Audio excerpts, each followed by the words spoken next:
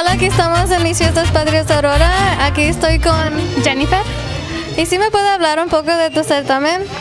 Claro que sí. Nuestro certamen se llama Miss Mexican Heritage y la gran meta de este certamen es para educar a la- las personas que no hablan español sobre nuestra cultura mexicana. Wow, fantástico. ¿Y qué esperas ver de- en este certamen? Pues me gustaría ver a las muchachas desarrollarse y representar a sus estados mexicanos con mucho orgullo.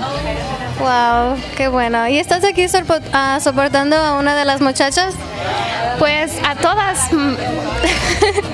Ok, well, gracias por venir y espero que te la pases muy bien. muchas gracias por tenerme.